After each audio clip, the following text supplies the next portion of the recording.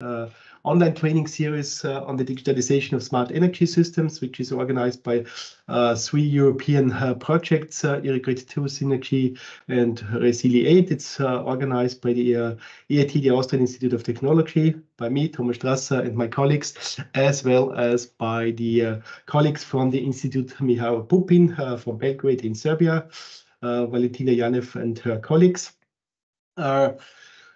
Just a few uh, guidelines and rules. So uh, we have um, uh, all of you are attendees, so you can uh, only listen, so you cannot uh, share uh, slides, but you should be able to ask questions in the chat. So if you have some questions, please put them into the chat and we will have a look at them and we'll, Valentina, Dea and Slavica will answer it afterwards or during the talk, depends what type of questions it will be. Uh, as said, also the uh, the training uh, event uh, will be uh, recorded uh, and we will share the slides as well as the recordings afterwards with you. So as you know, we have planned, these are these three European projects that are supporting um, this training lecture series, online training lecture series during this week. And as already outlined yesterday, for those of you that attended yesterday, we have scheduled four lectures, each of them maximum two hours long. Um, yesterday we had the modeling and simulation of the integrated energy systems. Today we look at the integrated energy services, cybersecurity issues, and uh, analytical services. Presented by Valentina Janev, uh, uh, Valentina Timcenko, uh, Slavica Rakas, uh, and Dea Jelic from the Institute Mihajlo Pupin uh, in Belgrade, Serbia. Tomorrow and on Thursday we have two additional um, lectures which are dealing with the design and the validation of cyber physical energy systems, as well as the cyber physical test beds for the validation of large-scale smart grid uh, applications. That's my short introduction, and uh, now it's my pleasure to hand over to Valentina uh, and her colleagues. So Valentina, the floor is yours. Okay.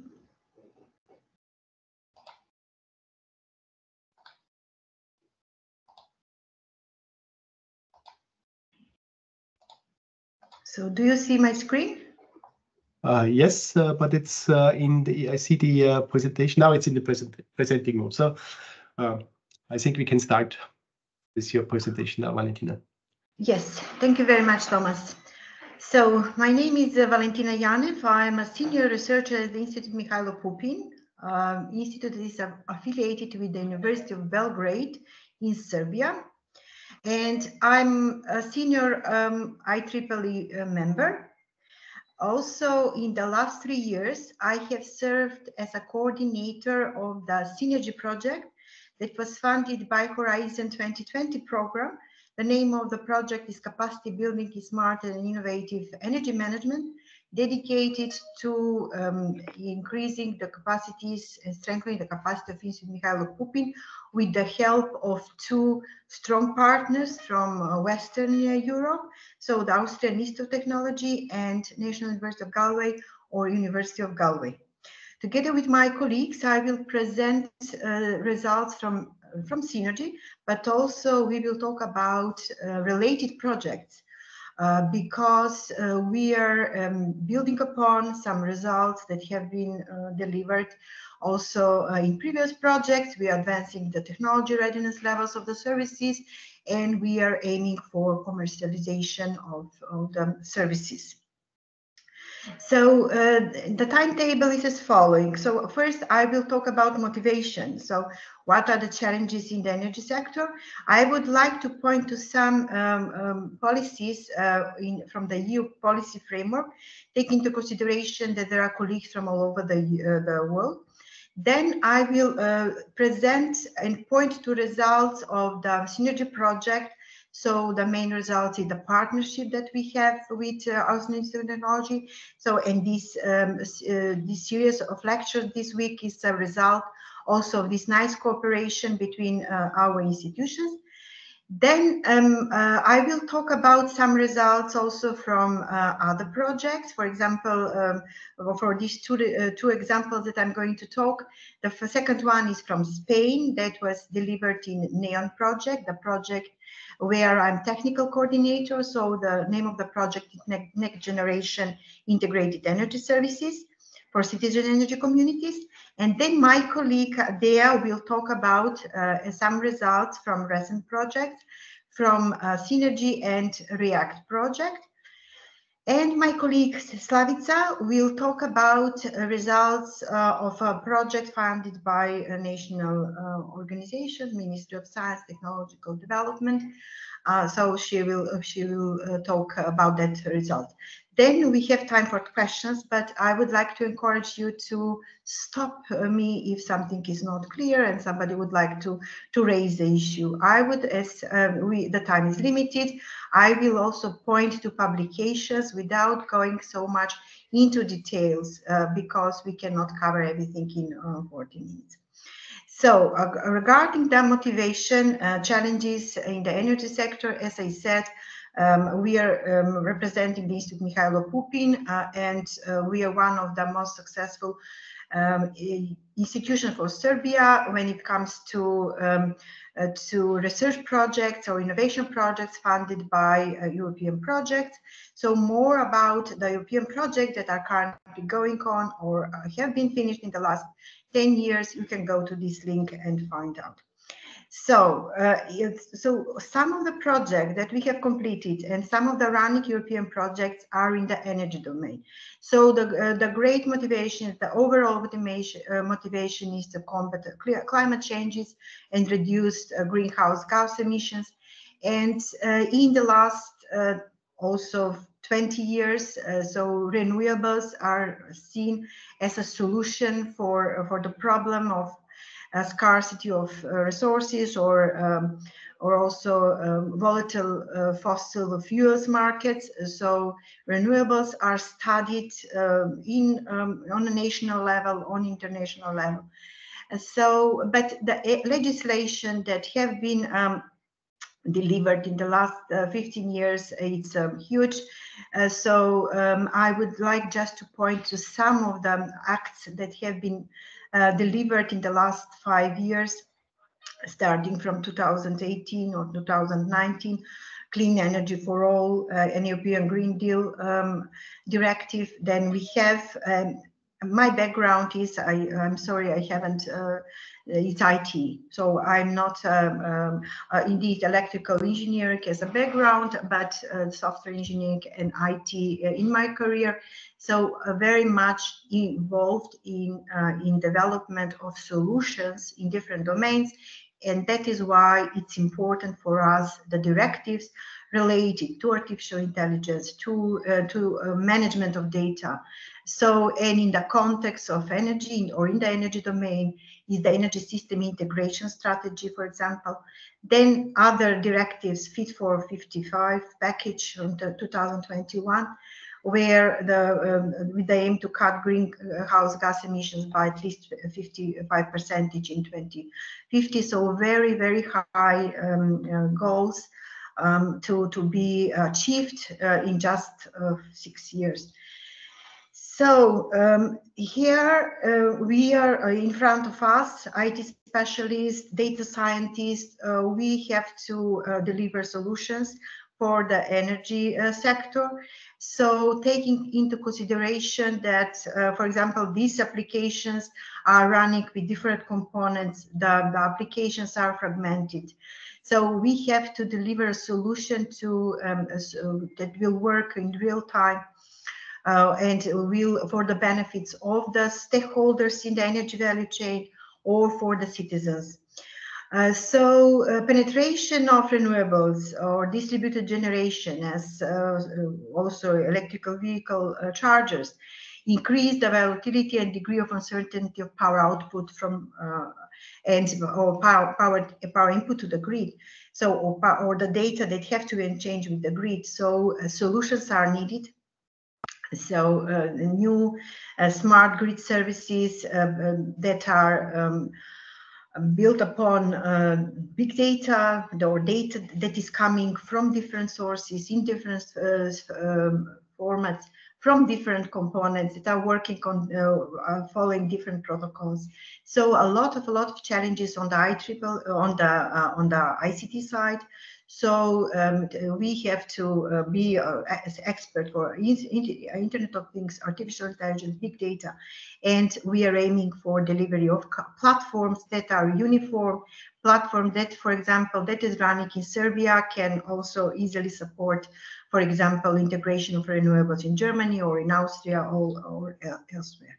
So as I said, uh, modernization of the, uh, of the electricity system in Europe so on one side, uh, benefits for the uh, for the holders of the or maintainers of the uh, of the energy system, but from the other side, we are very much concerned quality of life of the European citizens. So I, here I would like to, to point to the directive um, to 2019 um, uh, 944 uh, that is uh, introduced the concept of citizen energy communities and some of the results that we have delivered in the last four years uh, we, we would like to present today uh, here. So um, modernization of the electricity systems uh, uh, understands uh, moving from centralized system to decentralized systems. So in the centralized system, it, we had this, um, or we still have this distinction between production side, transmission side, distribution side, but in the decentralized system, so the consumption um, on the uh, on the consumption and um, is um, is uh, achieved by the local uh, renewable uh, uh, energy sources. So um, what is produced uh, from from the wind plant or for from the PV plant, the goal is to achieve 100% self-consumption. Here I am pointing to some of the Institute Mihajlo Pupin products. Uh, Institute Mihajlo Pupin is present uh, in the energy domain for 40 years, so we understand the problems that are in the centralized, but also we understand the, the needs uh, or the, the challenges for uh, innovation of our products. So here we talk about View 4 SCADA system. It's uh, uh, that is um, currently uh, used uh, in the for monitoring the um, almost 100 percentage of hydropower plants, 70 80 percentage of of thermal power plants in Serbia. And also this SCADA is also um, used uh, on the transmission side uh, and uh, also uh, we are now uh, looking for solutions for integration of different analytical services with our SCADA in order to to to uh, be ready for uh, creation or planning of citizen energy communities. So establishment of a citizen energy community of or such platform on top of or around our SCADA that will support citizens. Uh, it's uh, also linked to um, to legislations, national legislations. Uh, for example, at the moment, uh, Pupin is a privileged producer, but with the new legislation, also new actors appear. So we have ESCOs that, uh, that and the demand response aggregators so we, we have in this concept service facilitators or we have investors who are looking for um, uh, for solutions uh, to to achieve the goal of 100% self-consumptions to save uh, to cost uh, to save uh, the, the costs of um, production or to uh, to achieve energy savings. so um, as I said, we are looking for and we are look we are um, aiming for uh, defining new concepts uh, and technologies and services that will serve uh, energy generation, that will help uh, the uh, integration of renewables. But also we are providing, uh, for example, demand forecasters for for um, calculate forecast the load uh, for example for the for the for the energy community that we would like to establish uh, and also um, we are looking for techniques for uh, processing big data uh, and techniques that are uh, built upon novel um, artificial intelligence uh, algorithms, hybrid approaches, and, and so on.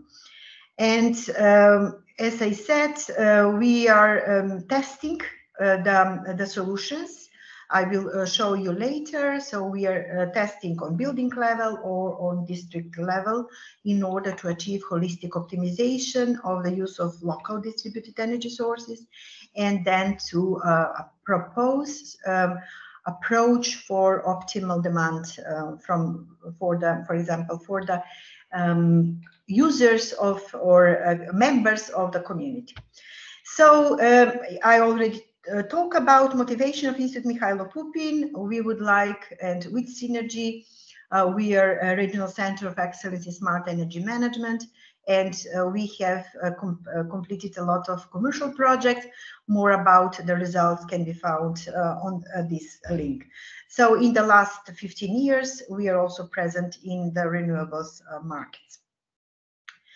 So I would like now to point to results in SINERGY. So SINERGY was a capacity building project, as I mentioned, so um, we established a partnership built upon uh, some uh, research innovation projects funded by European Commission, but we are also looking for exploitation of the results or uh, for clients uh, in Southeast Europe or, or uh, Western Europe. So um, the competencies of the partners are um, complementary. So Austrian Technologies, uh, they are strong on the grid side and they provide grid level expertise. So for, uh, for these solutions, um, complementary uh, uh, knowledge is needed indeed. So uh, University of Galway is providing expertise on the building side, and we are providing expertise on the data management and artificial intelligence side. side. So uh, my colleagues are um, very much experienced in building artificial intelligence services. Uh, so um, I would like now to point to the leading clubs that are used in SINERGY, but also that were used in SINERGY, but also that are used in other European projects or for the benefit, benefits of the organizations. So in uh, Austrian technology provided access to uh, two laboratories or two buildings, energy base and tech base. Uh, um, University of Galway provided uh, uh, access to to time series from Alice Perry Engineering Building, and Institute Mihajlo Pupin serves as testing for different services that we are developing at our site. So more about the results in SINERGY. So um, partners delivered lectures so in the repository of SINERGY, you can find uh, uh, different lectures for the uh, grid, um, smart grid technology related to smart grid technologies or uh, energy efficiency building operations. So please go uh, to, to this link and uh, you will come to this search filter where you can select either smart grid technologies or energy efficiency and come to the lectures. For each lecture, you will find the presenter or the person who has delivered the lecture, so you can find more information uh, about the materials that if you um, uh, directly contact the, the, institution. Now I will talk also about uh, some projects um, uh, that and results that were delivered in um, in um, in SINERGY, but we are continuing with with the work in um, Project Omega X. So the uh, name of the project is Orchestrating an Interoperable Sovereign uh, Federated Multi-Vector Energy Data Space built on open standards and ready for Gaia X. So here Institute Mihajlo Pupin, Pupin and the campus serve as a pilot for testing the technologies needed for establishment for planning and then operation of uh, local energy communities. So uh, here also uh, my uh, the names of my colleagues that have contributed to to these technologies. Uh, so before uh, we go to into detail and talk about the local energy community, I would like to point also to um, each, um, for example, a pilot or um, or can can be observed as an energy data ecosystem. So if, if for example, the, local energy community pilot is built upon uh, four, uh, five buildings or uh, and additional three, uh, uh, 100 uh, households, then these users are create create energy data ecosystem. So uh, in Europe, a lot is talking. Uh, we are talking today um, in the last three years about energy data ecosystems, and in these ecosystems, understand that technologies that are used are interoperable, interoperable. So on different levels. So interoperability is evaluated on legislation level, or functional level or on um, on uh, then on semantic layer uh, semantic level on syntactic level or and then on component level. So uh, we uh, some of our uh, work uh, on related to responsible knowledge management in, in, data ecosystems can be found in energies it was delivered two years ago. So what we are aiming in this big ecosystem in Europe for energy uh, solutions or for for modernization of the of the system is we are aiming for a platform that will, for example, um, uh, as presented in the previous slide, uh, that is deployed at the Institute Mihajlo Pupin, but we are supporting, for example, the um, integration of renewables on Aran Islands. So some um, my colleague Dea will uh, present analytical services, for example, from that uh, pilot. So we are aiming for this platform. This platform, in order to be interoperable, we have to follow the recommendations that for building um, uh, platforms in Europe. So um, this platform has to be a cloud. Many times it's cloud-based because we have to collaborate uh, to with other stakeholders. It's service-oriented, either uh, um, implemented the integration with REST services or MQTT broker. Uh, so we could have on the platform blockchain technologies in order to uh, to estimate, uh, for example, the, the distribution of, uh, of savings uh, and, um, and, and so on. So uh, many requirements for the platform, but um, we are on the lucky side because we have very clear instructions. So the smart grid architecture model was delivered um, by uh, by CEN-CENELEC Smart Grid uh, uh, Coordination Group. Here we have uh, three uh, three dimensions. One dimension is interoperability dimension, domains, and zones.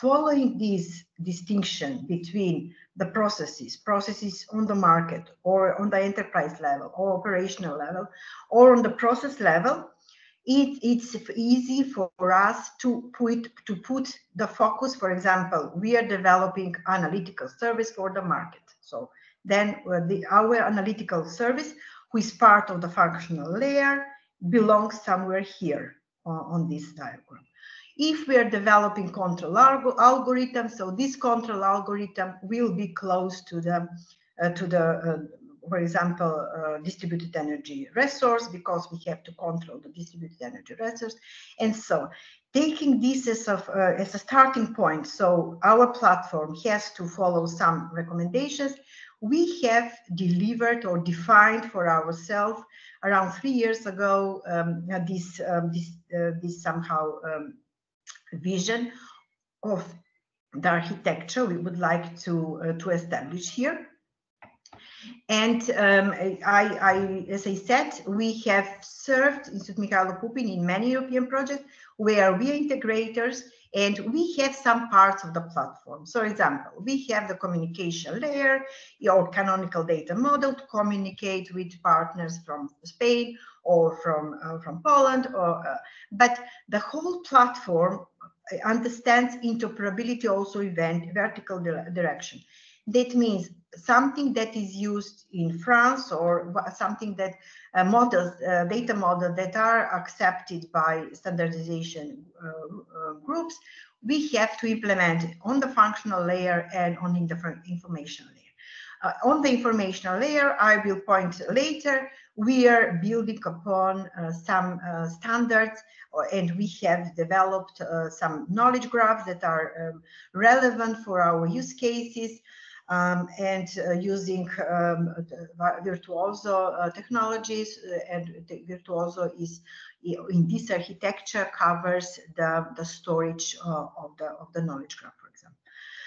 Functional layer is built from artificial intelligence uh, services that communicate some uh, messages. Messages are passing between them um, in order to, to deliver benefits for the clients. So now I'm uh, um, going towards results um, and what Mihajlo Pupin can offer. So what we have been working in the last five, six years. So these services are in the domain of non-intrusive load monitoring, lo local and uh, aggregated energy demand consumption prediction, renewable energy sources uh, generation forecasting, energy dispatch optimization, energy performance evaluation and benchmark. So the services are available in different TRL levels and they have been tested uh, in um, different pilots.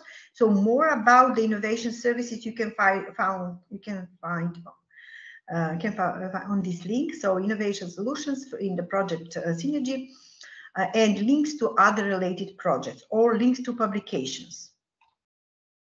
Now I would like to move to uh, our vision of um, establishing a self-consumption in 2026 for the Institute Mihajlo Pupin campus.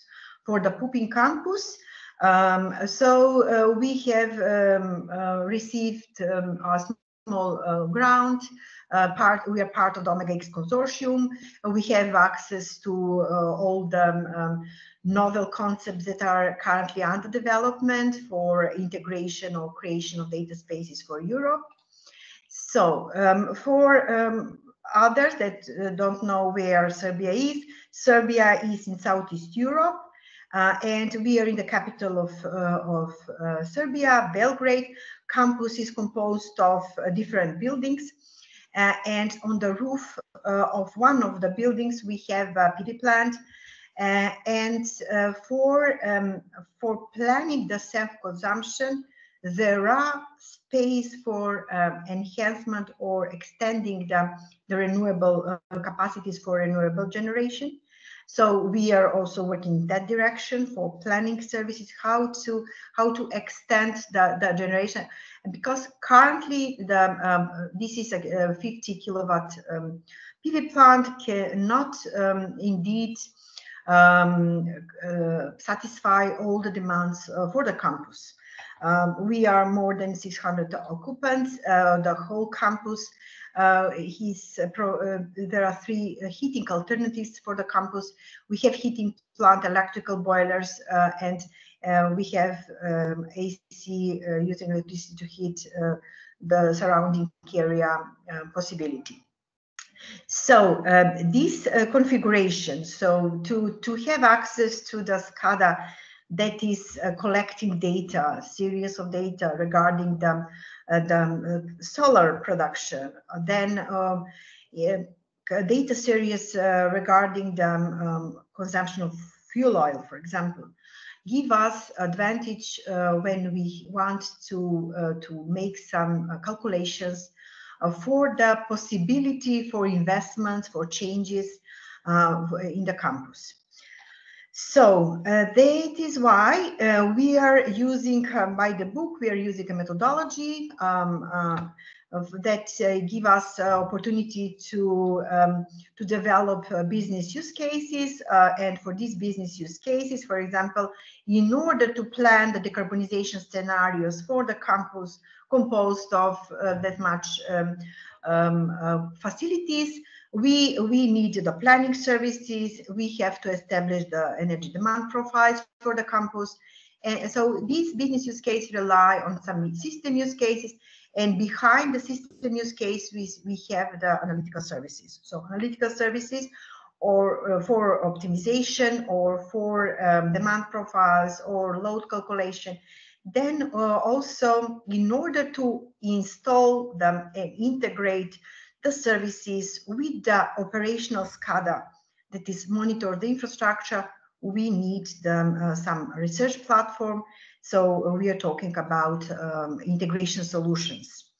So self-consumption, for example, for the uh, for the for the Mihajlo Pupin, uh, we are uh, currently a privileged um, uh, producer, but uh, in the legislation, um, we would like also not just for Serbia to deliver uh, solutions for prosumers and to on the integration platform that I mentioned, to install analytical services that will be integrated with the infrastructure. And from the infrastructure, we need the uh, renewables and we need the consumption uh, profiles. Uh, then uh, this can be in a um, um, more um, or, or, a bigger um, local energy community. This uh, have can be integrated with a provider of smart contracts this provider of this smart, smart contract can be the DCO or another um, another actor uh, in the energy value chain. So, for example, one of the research that was delivered on demand side flexibility uh, impact on prosumer is uh, also published in uh, Energies a few years ago.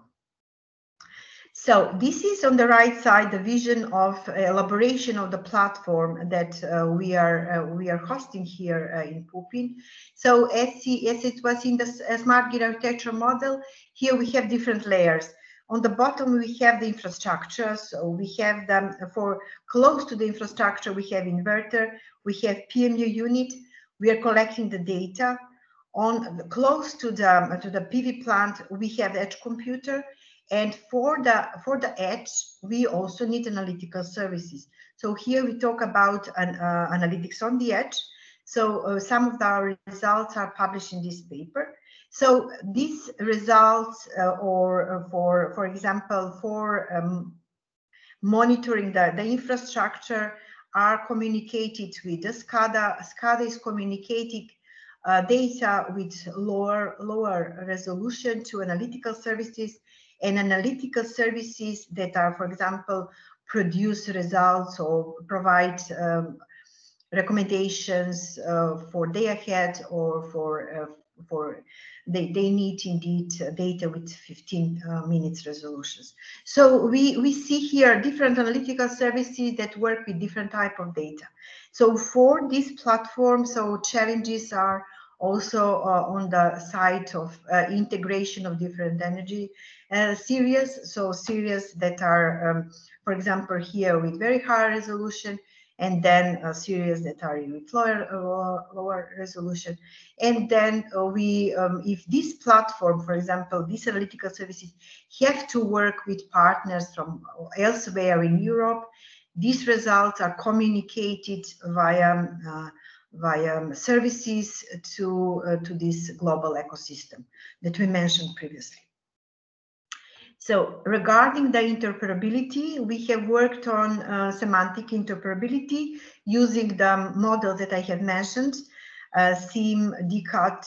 Um, uh, so these are some uh, common uh, semantic models uh, but currently in Omega X, we are developing specific semantic models for the local energy communities that are needed for local energy communities. Here uh, we are considering also a, in the infrastructure, not just the generators, we also have the storages, we have the batteries. so modeling is also for these components. So we have modeling for, for different components. Uh, the, once the ontology uh, is uh, agreed, for example, for this ecosystem or for Omega X ecosystem, this ontology can be used for, uh, for example, for an annotation of data, annotation of services, uh, and can be used for development of data wrappers, um, easily development of data wrappers, and, and and so on. So this is uh, one of the results of, uh, from another project, so the Platoon project.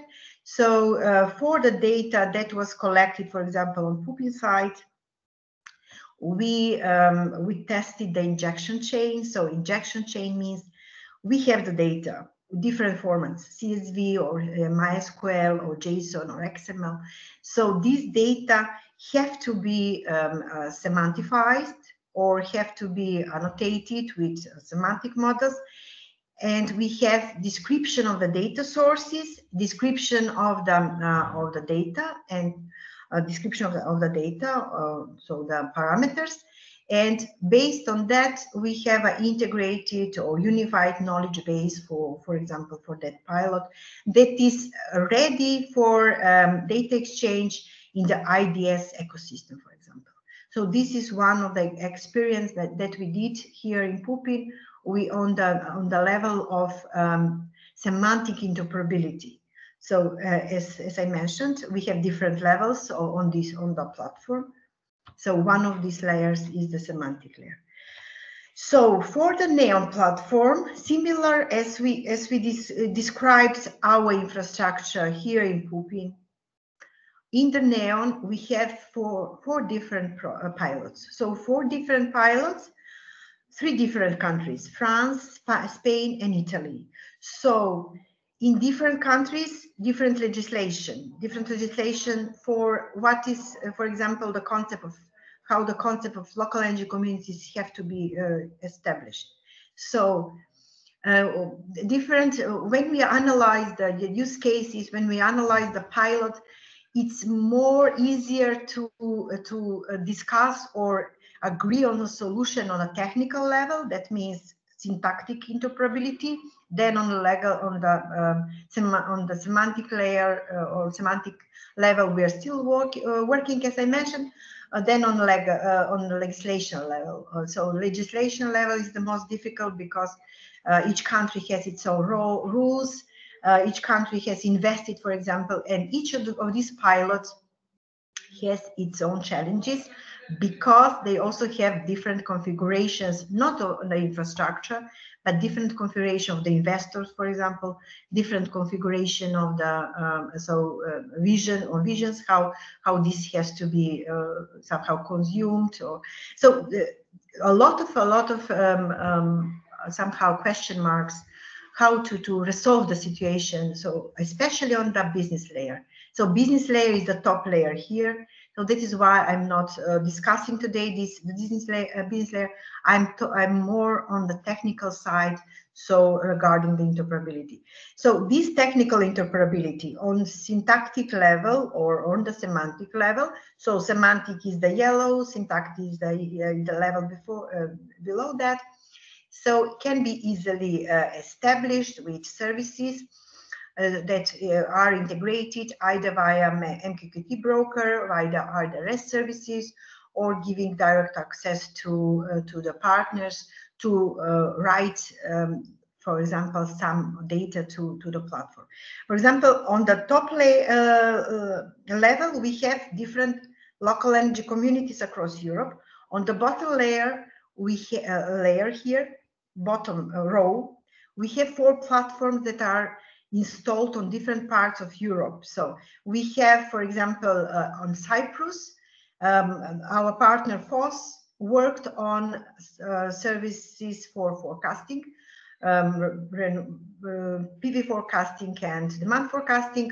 We at Institute Mihajlo Pupin worked on the optimization side, and then provider of the data was the local energy community in Spain. So different actors different in the data space or the data uh, ecosystem, they have different roles. Some of them are providers of data. We and Pupin are service providers, and um, or service providers are uh, partners in, um, in Cyprus, and so on.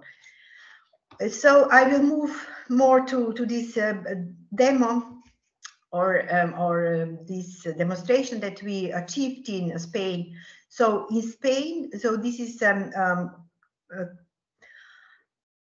close to Toledo. So uh, Villacañas is the name of the city. Uh, we have uh, access to five industrial facilities of the industrial park uh, Las Cabezas. And our partners who are on, this, on that side have provided us time series for, um, and um, they have defined the problems that are in their specific local energy communities. So they would like to run a platform similar to the platform as I presented previously.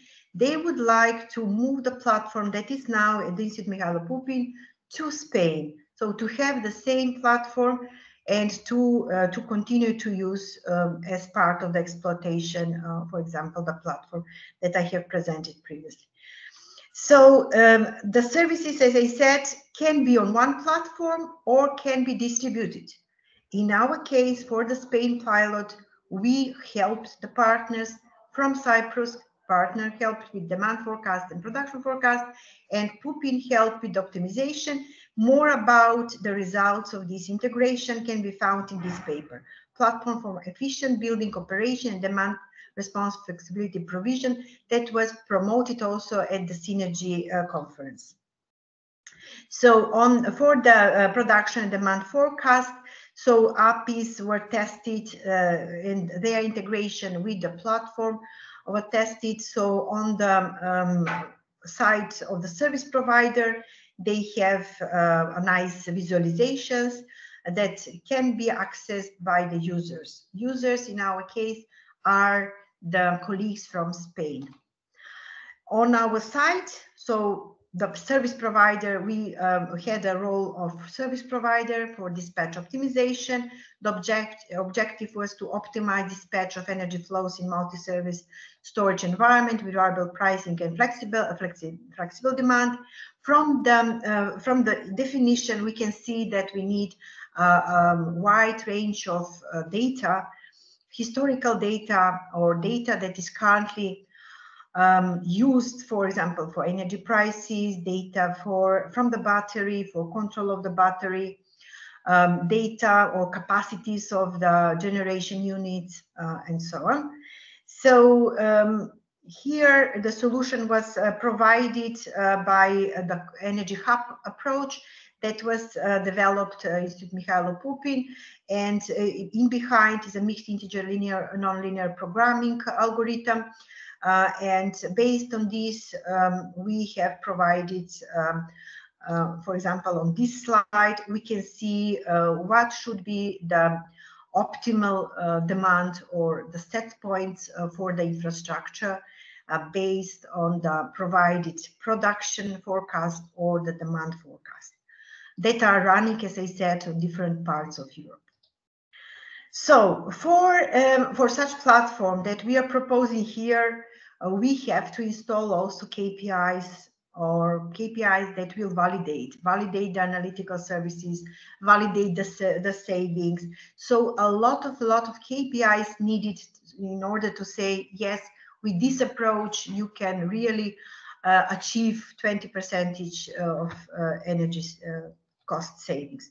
So for each pilot, we are developing or we are um, defining the um, uh, KPIs that are important, either economic, social, or, or environmental, or all uh, pilots have environment KPIs, obviously, but uh, some of them are, for example, the French pilot was was more on the economic side. Uh, so we have also pilots that are more on the social side. So in order to, for example, to uh, to provide uh, for social buildings uh, some benefits for the citizen and, and so on. So uh, behind uh, them, it's a framework for validation of the results. So different KPIs should be defined on the level of the pilot. KPI on the level of integration of the subsystems because uh, we said that uh, we are talking about infrastructure composed of different components. Each component has its own, um, its own, for example, KPIs. For example, uh, HVAC system have uh, KPI related to comfort, energy efficiency KPIs related to uh, to other um, uh, infrastructure or user engagement is is KPI um, related to benchmarking service. If the the, the, the for example, users are using them, um, the, the services, they can, um, or, or follow the recommendations, they can achieve uh, better uh, savings uh, of the costs. And then uh, we have KPIs strictly for on the technical uh, level. So for the technical level, we are uh, we are evaluating different technical characteristics of the services and the systems uh, for the user uh, engagement is uh, related to user behavior energy efficiency, uh, we are um, evaluating the benefits in terms of optimizing users' energy use uh, by uh, exploiting the demand flexibility of the, the infrastructure or the energy efficiency of the um, opportunities that are offered in, in this with these systems. Um, and so um, for example, on the level of the system, uh, energy efficiency, we are uh, we are looking on total energy consumption, peak load uh, demand reduction, energy cost per year, uh, and and so on. So um, as I said, uh, in order to uh, achieve the economic savings, um, so with implementation of optimized solutions, and cost savings uh, to improve the, uh, for example, uh, use of uh, the electricity from the grid and integrate the rest, um, rest um, res resources. So we need uh, to integrate a lot of uh, a lot of systems. To I mean, that is why in this um, presentation the focus was on how, for example, such platform should look like and one such platform or a lot of knowledge know-how have been collected in SINERGY but also in previous projects and in the currently uh, running projects in Pupin. Um, regarding the interoperability, a lot of um, um, going, a lot of is going on uh, in Europe. Uh, so we are part of the community that is um, developing uh, these uh, services or the, these, um, these semantic models. So I would like to point, for example, on the Platoon uh, semantic models that are now exploited uh, for building the data spaces in Europe. And then I would like to conclude that um, we are uh, aiming for uh, scientific uh, exploitation so to to we would like to um, be integrated um, in the um, in the um, European era uh, research area. Um, and we are quite successful, but sustainability is very important. So, uh, and also the uh, the excellence is very important. Uh, so that is why we are uh, aiming for scientific exploitation, but also commercial exploitation is very important because we would like indeed to be also number one when it comes to knowledge transfer from our institution towards the stakeholders in here in Serbia, but also in the surrounding countries and uh, in Europe. So I would like to thank you uh, for your attention. If there are any questions, I will be happy to answer.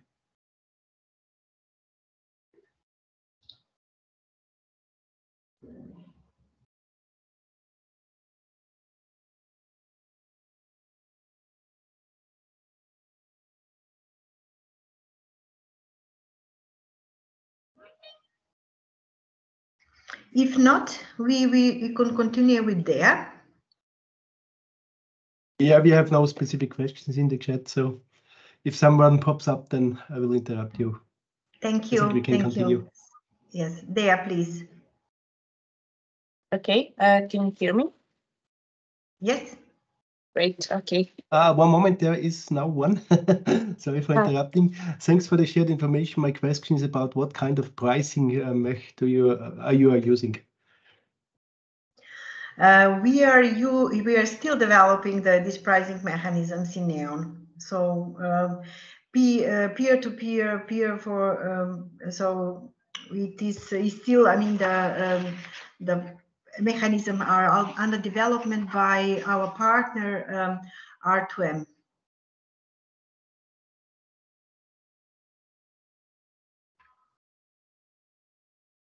So many thanks. I think we can continue with the next part. Thank you. Okay.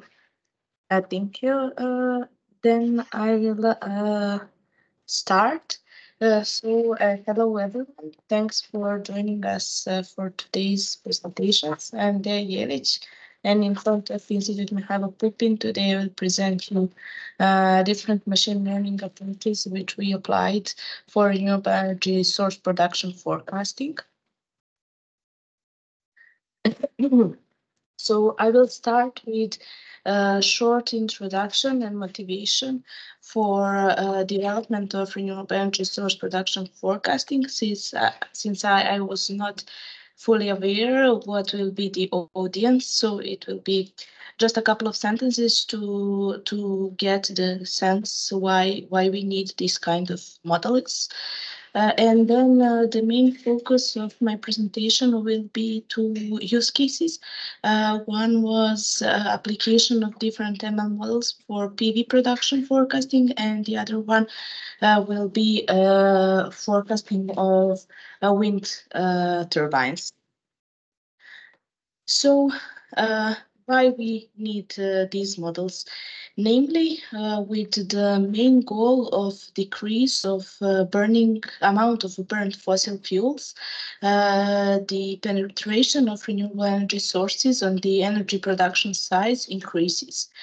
And uh, as you probably know, in order to maintain a stable electrical grid, it is of most importance uh, to have a match between the uh, demand and the production side. Since uh, renewables are uh, quite stochastic by their nature due to their dependency of different meteorological parameters, uh, they can cause grid instability. And in order to make sure that we have a stable grid, uh, careful planning is required, which leads us to the necessity of renewable energy sources production forecasters.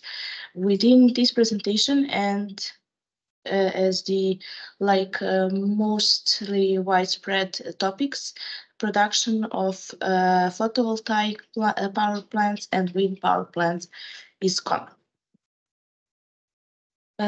Uh, so now I will start with the first part of my presentation, uh, which focuses on uh, PV power production forecaster. Uh, namely, the focus uh, within this research was day ahead forecasting of photovoltaic panels production depending on different meteorological parameters. This is understood as short to mid midterm forecasting. Even though they're uh, depending on a particular uh, forecasting horizon, uh, applied methodologies in literature dif differs a lot. Uh, for example, for ultra short uh, term forecasting, uh, approaches like ARMAX and similar models are common because of a high dependency of the previous and the coming production when we uh, consider longer horizon horizons from from a couple of hours or day ahead to even longer horizons, uh, utilization of machine learning models uh, is more successful and is more common in uh, state of the art. Uh, here I uh, I somehow highlighted uh, three approaches uh, which are present in uh, literature and were quite related with, uh, with our work. Uh, you can find various uh, neural network architectures for this kind of forecasting from convolutional neural networks, recurrent LSTMs, also art artificial neural networks, etc. Uh, the most uh, performable uh, ones uh, were proven to be hybrid architectures, a combination of different layers. But also you can find the utilization of artificial neural networks uh, in ensemble as, as the approach for solving this problem. Before uh, going to the models themselves and showing you some results, I wanted to give you just a brief summary of the data we used. Uh, for this uh, purpose, we had real uh, world data, uh, which we obtained within a React project from a day town in Tenerife. Uh, you can see on the right-hand side that we had uh, data from a PV plant, which had capacity around uh, 40 kilowatt peak. But uh, the resolution of the production data was only one kilowatt. So th this is why th these are discrete values. Uh, we obtained data for a year-long uh, period, uh, year year-long period uh, for with hourly uh, resolution, and we also obtained meteorological data. Uh, this data was not collected on the particular pilot site since there was no uh, no accompanying meteo station, but we obtained data from Solcast web service.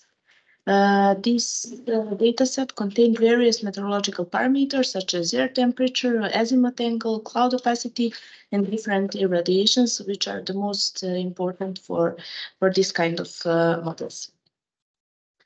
Uh, since PV is not producing any energy when there is no radi radiation, we only took periods in which there is radiation and also production uh, for training and also model evaluation purposes.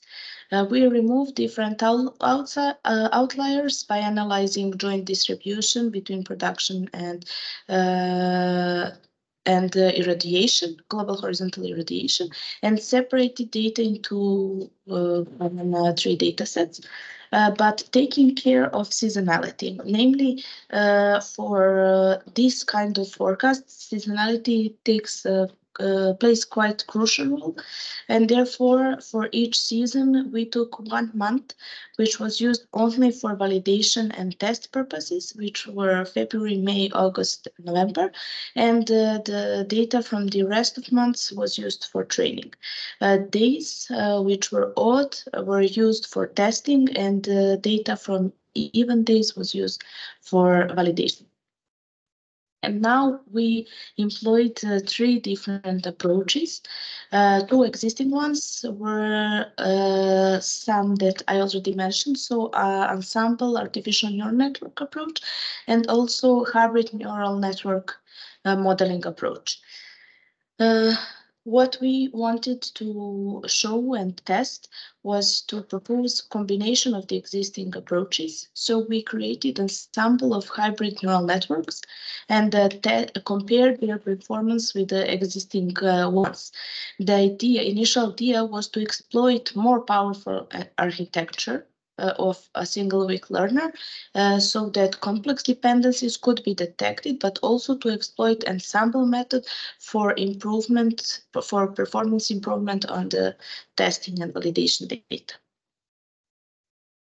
And now uh, I will show you uh, three slides with uh, separated uh, results for each approach. The first one, the probably the most basic one is ensemble artificial neural network approach. Uh, we trained uh, around, uh, sorry, it was uh, 300 weak learners, and each of these uh, used a random of 80% overlapping of training data set. Uh, under the same conditions. So we had the same optimization engine, uh, number of epochs, etc. Uh, as you can see in the top uh, right corner, uh, optimal number of weak learners was 150 and it was obs observed uh, by uh, comparing root mean square error on uh, validation data. Uh, you can see the performance in the two pictures and here uh, in the numbers, and you can also observe more details in the paper I put reference in the last slide for this part of presentation. But uh, I just want to like uh, underline the, the biggest problems with this model. So you can see that peaks uh, were quite problematic uh, with these models. And that's where the biggest uh, error was uh, created. So when we had uh, the highest production and also the, the minimums couldn't be catch precisely. Then we also trained single hybrid neural network using uh, the same uh, optimization engine and achieved around 100 kilowatts better, on 100 watts better performance. Finally, uh, we also trained an ensemble of these hybrid approaches. Uh, we trained 200 weak learners uh, in a similar manner. So each weak learner used random of 80% overlapping of training data set. Uh, and uh, the optimal number of weak learners turned out to be 20. So a significantly lower number than with artificial neural networks since these models were more powerful.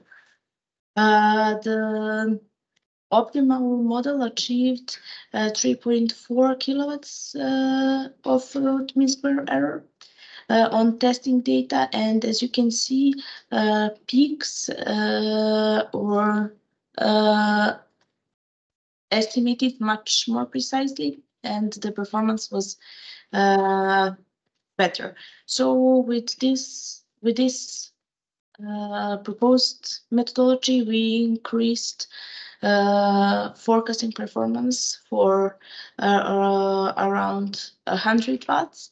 And even though the performance on training data, as you can see, is lower, actually on testing data set is, is higher. And the most notable improvement could be seen in periods with maximal and minimal production which is quite important to not to under or overestimate in these periods since these are the most critical ones.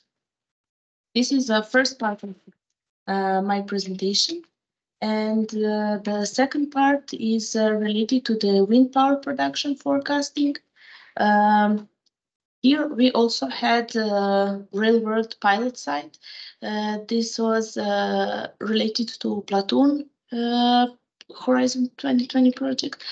Uh, Krnovo wind power plant uh, is located in uh, Montenegro, and we collected also a year-long data from there. Uh, this uh, power plant contains 26 wind turbines with different capacities, in total 71.5 megawatts. Uh, apart from uh, production data, we also uh, obtained meteorological data from the local met station. So we actually had pilot-specific data, the whole file-specific data set. On the right-hand side, you can see comparison between the obtained uh, measurements and the expected uh, shape uh, of the dependency between the wind speed and power output. So you can see that the behavior is expected. Uh, in the first steps, we uh, had to aggregate meteorological data since we had different uh, time resolutions.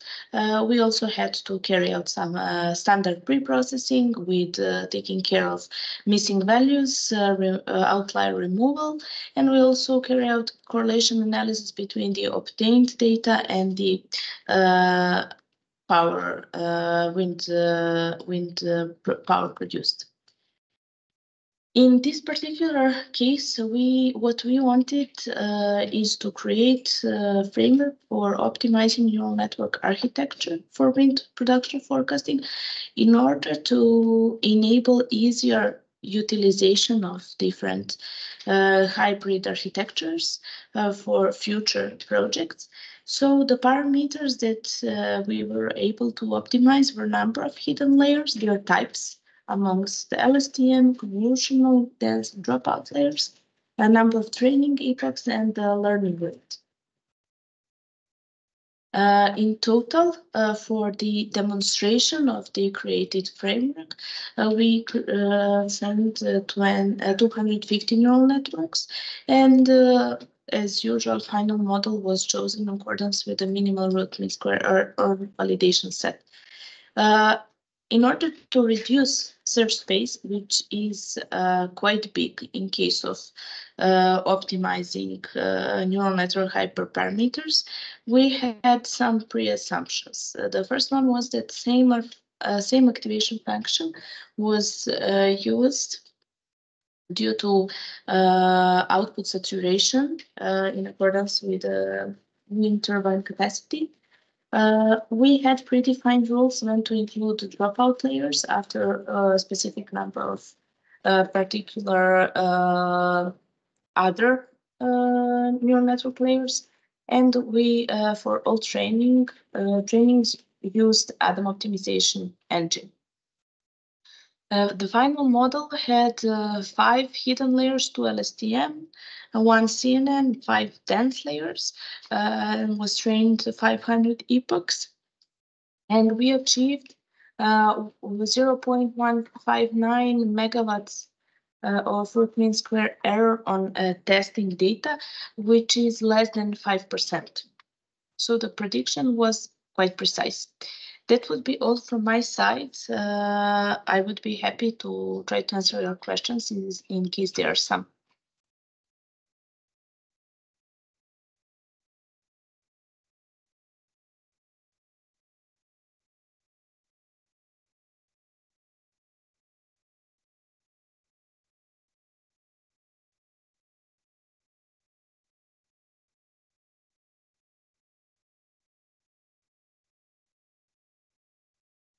Okay, I, I saw one question. So um, Yeah, we have here one question that is, uh, how is the test data different from the validated data?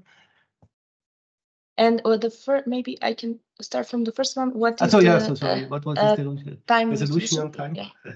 Uh, the resolution of the uh, measurements was uh, uh, hourly basis, so of all uh, production data and meteorological data, we had it in uh, 10 minutes time resolution uh, from the Krnovo power plant, uh, whilst uh, from Solcast data set, we also had with uh, hourly time resolution.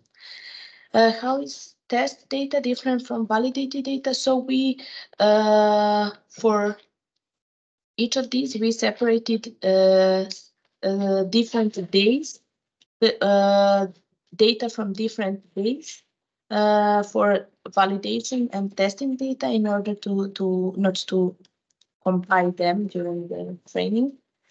Uh, have you developed any model for PV uh, hosting capacity at the distribution level, like under transformer? No, so far we we were focused on this one.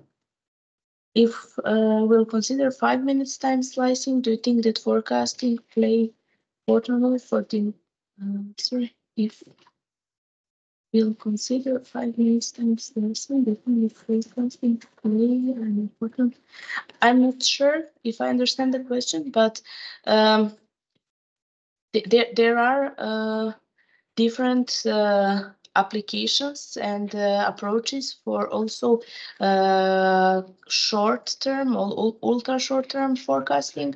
Uh, so yes, even for uh, five minutes, but these are uh, much more focused on analyzing and taking care out of the previous production, both in demand and in production side.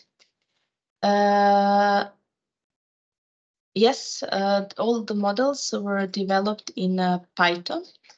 Uh, and uh, machine learning methods are the open source.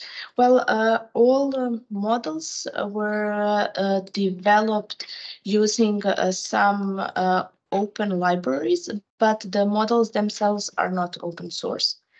Um, is there any open source uh, for metadata? Yes, Solcast uh, was open source. I'm not sure whether it was for research purposes only, maybe, uh, but uh, we uh, requested formally for for this purpose, and we obtained it uh, for uh, it. It was uh, free of charge. Yeah.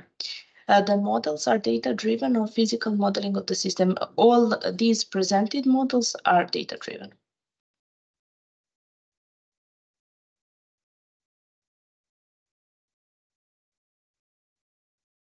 Uh, Thanks a lot for all questions. I will, uh, of course, stay until the end of uh, this. uh, ah, There is one question, sorry. Can you elaborate uh, on the size of input vector and output vector for machine learning model? Yeah. So the output vector was estimated power produced, so it was a single output. When we wanted to estimate with a horizon of 24 hours, we then estimated for each hour separately. When inputs are considered, uh, we took uh, various, depending on a particular model, uh, and even in uh, some other cases which I didn't have time to present today, but we uh, obtained different meteorolog uh, meteorological parameters. So the our main focus was taking into consideration different meteorological parameters such as irradiation, UV, uh, temperature, uh, cloud coverage, and so on in order to estimate uh, produced power. Uh, can you elaborate about the ensemble learning? What uh, was that based on neural network, or do you, you have chosen other?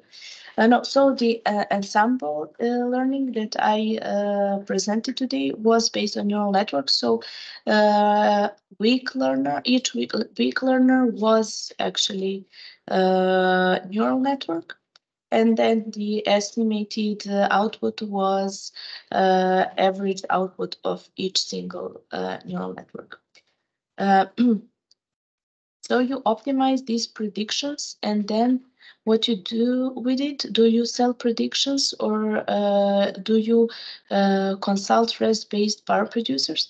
Um, depending on a particular use case, but for example, in case of PV forecasting.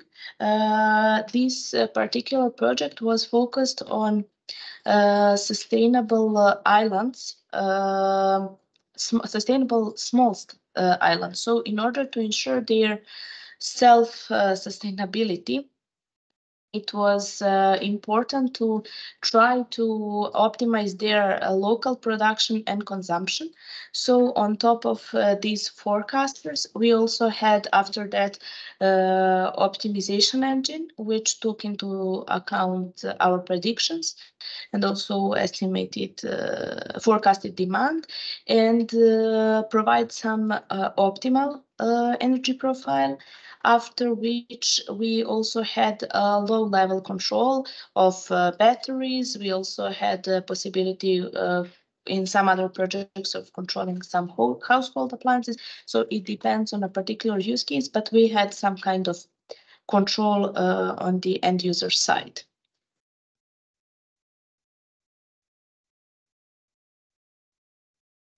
Okay, uh, I will stay here, so in case some additional question pops up, maybe we can answer in the end. Thanks a lot for your feedback and all the questions and uh, for the opportunity to present. Thanks, and I think we can move on.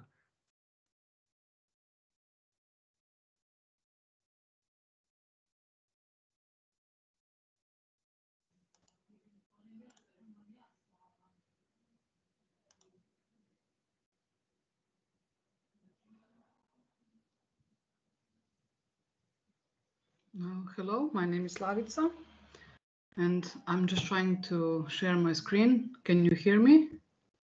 We can hear you, yes, uh, okay. Uh, but not yet see your screen. The, yes, I'm not sure why. Uh -huh, here it is, okay. Now, can you see it now?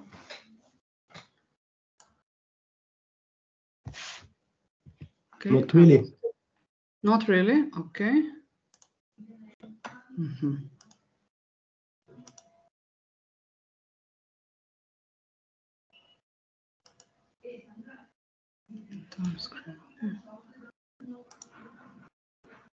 I will try like this. Do you see? No, I don't see it still. Mm -hmm.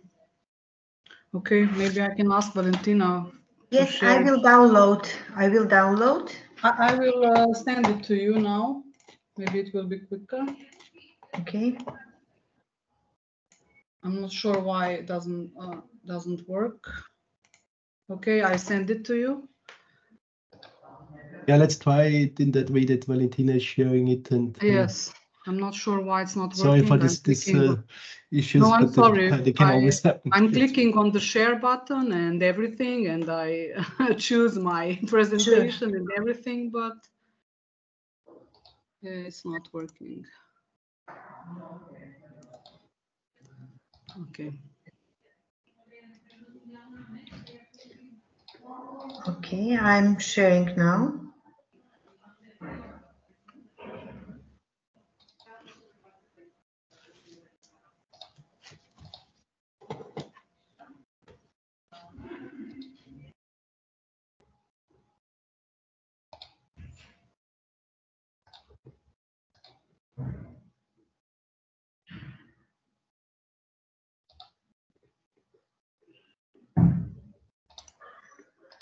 So do you see the presentation?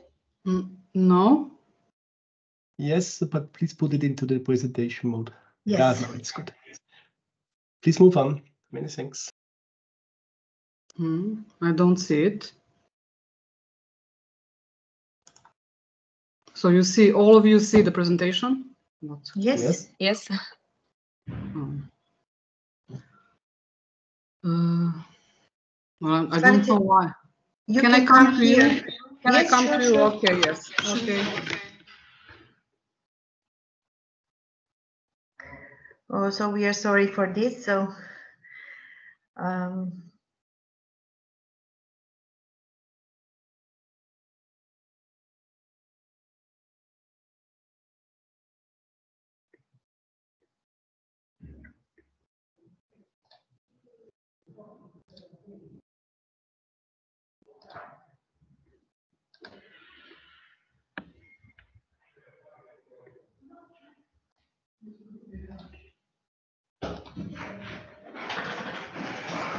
Mm-hmm.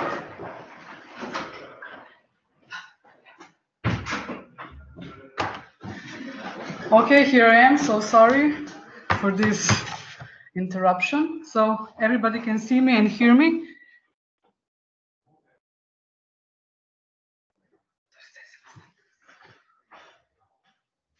say, do you hear us? Yes. Yes. Okay, sorry. So let me introduce myself. My name is Slavica Boštjančič-Rakas. I come from the Institute Mihajlo Pupin, Belgrade, Serbia, and today I will present, uh, I mean, I will talk about the cybersecurity issues of cloud-based dynamic line rating. So uh, first to outline uh, some topics that I will talk about. First, of course, short introduction.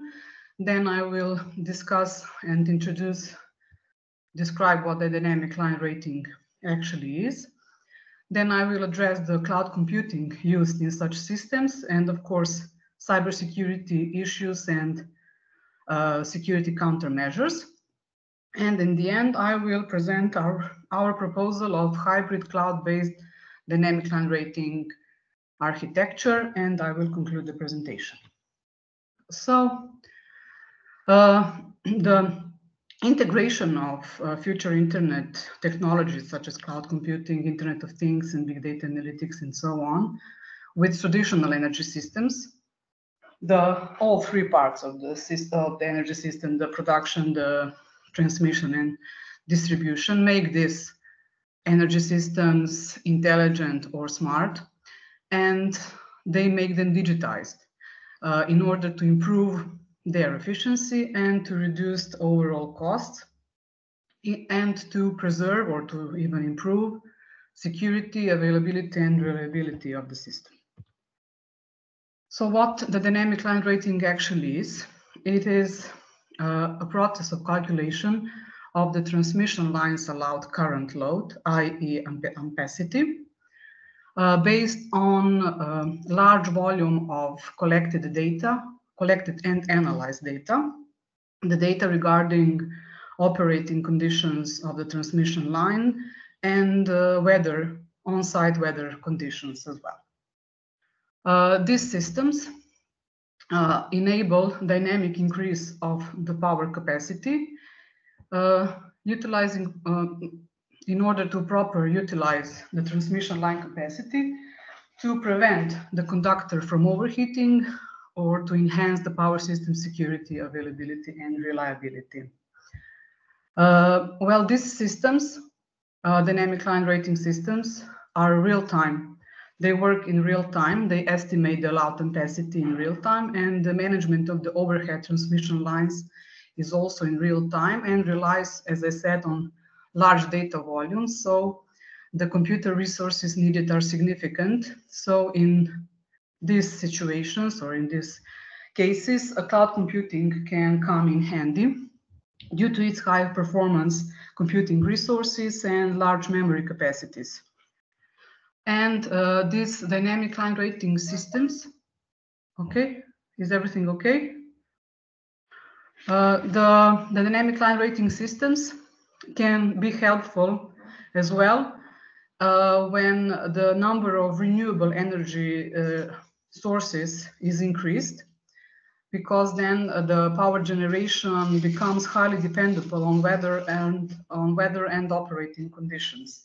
So in such case, these uh, DLR systems can be uh, can be helpful because they can increase the they can yeah they can increase or they can optimize the the use of the transmission line capacity and to improve operating uh, operating uh, security operating security they can improve it of the whole power grid. So uh, this figure presents general uh, general architecture of the of these systems consisting of uh, DLR server uh, for acquisition for acquisition of data and for calculating the these estimations. Uh, the workstations and measuring units. So measuring units consist of sensor unit and weather station. Uh, sensor unit is mounted on the transmission line and measures conductor's temperature, tension, and or sag. Uh, while weather stations measure air temperature, wind speed, wind direction, and solar radiation. And they are usually mounted next to the sensor unit. They can be a part of sensor unit as well, or they can be in some relatively close distance. Uh, the data collected from these uh, units is sent to the DLR server, which determines the conductor, the allowed um, conductor ampacity, and forwards that information to control system, the SCADA system, for example. Uh, and this information can be stored in an appropriate database. Uh, workstations can be used for real-time monitoring of transmission lines temperature and ampacity, and they can be, and they are actually used for maintenance and configuration of sensors and weather stations. The main benefits that uh, this dynamic line rating system bring are the increase of the transmission system efficiency, then the operational flexibility of the transmission system, then uh, improved utilization of the existing assets, which decreases overall costs. Then greenhouse gas emissions can be uh, reduct, reducted uh, because of this integration of renewable energy resources and the security of the power grid's operation can be improved as well uh, in normal operating conditions. So when we talk about the cloud computing, uh, as I mentioned in the beginning, uh, it can be helpful in this case when we uh, have large volumes of data, uh, that data that needs to be um, used in real time. So the, the high performance computing resources are in need and large memory capacities as well. So cloud computing can be helpful because Otherwise, uh, these um, needed resources can be extremely expensive. Uh, cloud computing offers users web-hosted computer and storage resources. These resources, um, uh, I mean, the users don't have direct or active management about these resources, but they can access it via web browsers or applications while data remain on cloud servers. So the main three uh, types of cloud computing are of, cloud computing are well known: the public, private, and hybrid. Public public uh, cloud service services uh, are offered by third-party internet providers. They can be free or subscription subscription based. Uh, in the private uh, cloud services, the infrastructure is owned by a single organization, while data center resources uh, are on premises or uh, provided by third party. And the combination of the previous two, taking the benefits of both, is hybrid uh, cloud computing. Of course, uh, introducing the cloud computing to any system, especially uh, industry, uh, brings, raises some cybersecurity and um, availability and reliability issues. Uh, when we talk about the electric power industry in particular, we can uh, identify two main uh, areas of application of cloud computing. First one is information management and distribution, distributed energy management, and the second one is electrical distribution systems. In the first one, we can observe several benefits. For smart grid applications, uh, first one is provisioning of hardware and software resources that are needed for the big data analytics. And the second one is scalability and elasticity of cloud computing services can contribute to continuity and accuracy of dynamic smart grid operations. Uh, when we talk about the electrical distribution systems, uh, consumers can take advantage uh, with uh, web-based cloud platforms that can provide them with real-time information about the energy, their energy usage and about cost of energy. And based on that, they can organize their energy consumption and reduce bills. In this uh, figure, uh, I try to present some uh, examples of possible of, or applicable cloud services and cloud infrastructures for DLR systems. So, for example, um, we can use some public or private cloud uh, services. Uh, for example, for data management and data optimization, we can use public uh, cloud service like um, database as a service. So this on the left-hand side with green frame. And we can use um, compute as a service, which can be uh, implemented as public or private cloud service. And this um, compute as a service like Compass, uh, uh, it can be used for um, for processing resources, for example, like some virtual machines and so on. Uh, so for big data analysis and for data visualization, we can use platform as a service. Uh, for storage, web hosting, network performance monitoring, and high performance computing, we can use infrastructure as a service. They also can be implemented as public or private cloud services, but um, since we are talking about the power grid and um, systems that are really important, uh, the security issues in public cloud are not so great, so uh, it would be better to implement it as a private. And uh, finally, uh, a public uh, software as a service DLR application can be used for gathering geospatial data and for uh, gathering uh, data about the weather parameters. Uh, the main cybersecurity objectives are the well-known um, CIA triad, but in this case, when we're we're talking about the power uh, grid systems, the order of the of these objectives is a little bit different. So first comes availability, that means um, that access to information is on time and reliable, meaning that only authorized users can access it on exactly when they need it.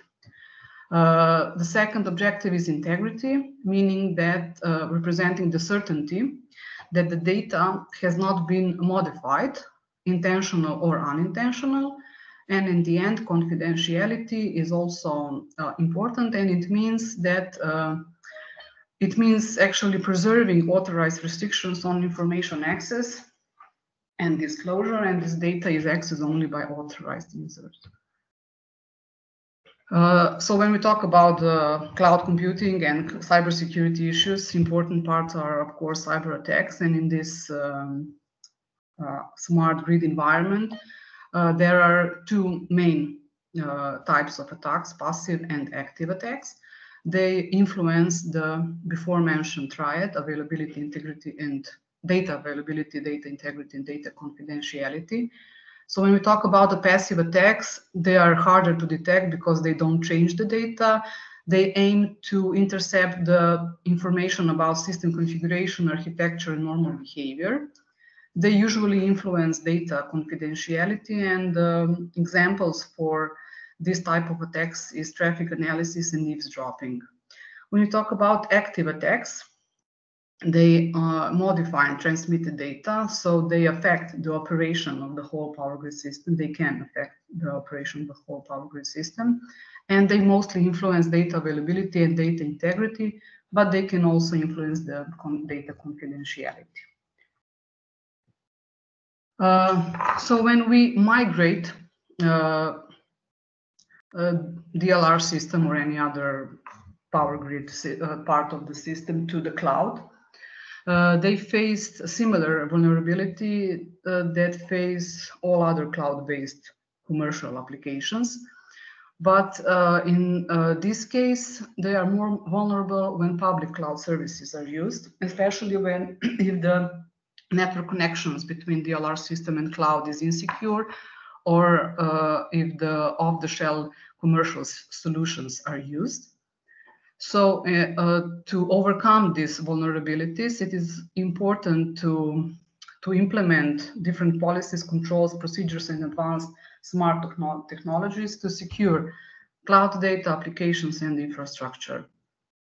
Uh, there are four main categories of data security issues. First one is before mentioned triad then authentication and access uh, control, broken uh, authentication session and access control, and finally minor data related security issues uh, due to data location, multi-tenancy, backup in the cloud. So to overcome this um, previously described, to tackle to these issues, um, so how to ensure this first, I guess, um, issue, data confidentiality, integrity, and availability in the DLR, DLR system. When we talk about the confidentiality, um, it is important in this uh, system because the output information, which is estimated intensity of the transmission line, is strictly confidential. Therefore, uh, some uh, encryption, appropriate encryption algorithms are uh, necessary.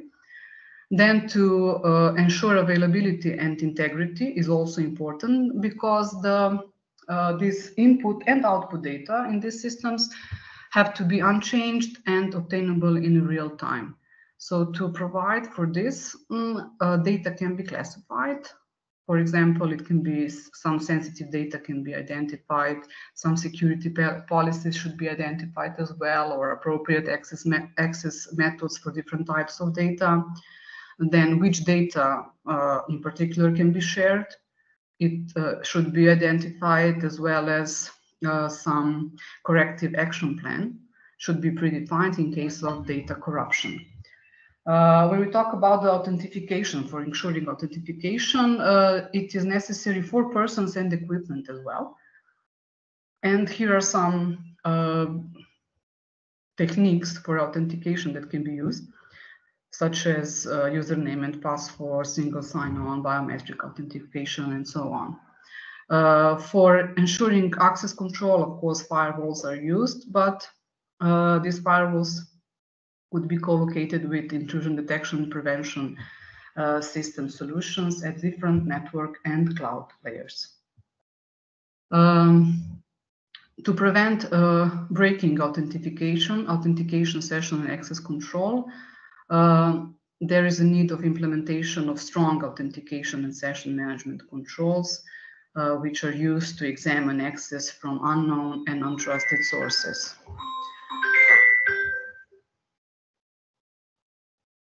So um, here uh, is pre uh, we present uh, the proposed DLR cloud-based architecture. We can see that is hybrid. Uh, we use we, uh, we use public cloud services for um, for gathering pub, uh, publicly available information like weather reporting and for forecasting. So it is used like software as a service. Uh, and we use as a private cloud service, we use platform as a service for gathering the data from sensor units for data aggregation, storage, and management, and for the process of this gathered data, and of course of sending the process data to the control system, for example, SCADA. Uh, then uh, intrusion detection prevention systems uh, are co-located with firewalls, They are installed at networks vulnerability points and they, they monitor the traffic and examine the activities of the network in order to identify and prevent suspicious activities in the network. They log event uh, information, notify about important events, and generate reports. Uh, the interoperability between the DLR server and control system is achieved with the protocol converter, and the main benefits of such um, such architecture, uh, hybrid architecture is uh, on one side cost efficiency um, due to use of public cloud services, uh, and on the, on the other side, high level of security provided uh, by the private cloud. So to conclude this presentation, we can say that that introducing or migrating uh, this application to cloud computing environment is relatively new business uh, strategy. So one should uh, uh implement or yes, a profound analysis and assessment of the benefits and risk trade-offs. Uh, the DLR systems are very important of part of the power system because they contribute to the optimization of electric power distribution and provide an efficient power grid's load management. They, uh, they run in real time, they collect and process large uh, volumes of data in real time. Therefore, cloud computing can be useful. And uh, we thought that hybrid cloud infrastructure could be a promising solution for such systems, bringing, as I said, uh, some cost efficiency and high level of security for critical applications that are executed in the private cloud. Okay, so uh, that will be all from my side. So if... Yes, thanks, Slavica, also for your part. Mm -hmm. We have time for some questions. So I If you don't see. questions, are- please put it into the chat here. Mhm.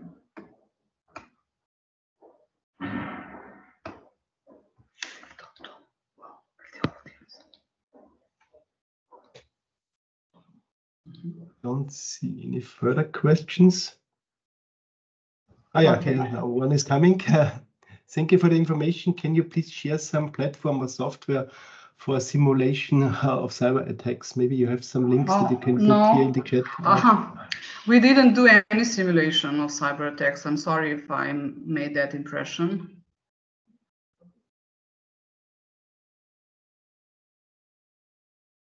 Okay, many thanks for the clarification. But uh, usually before we used uh, NS3 simulator and NS2 before that.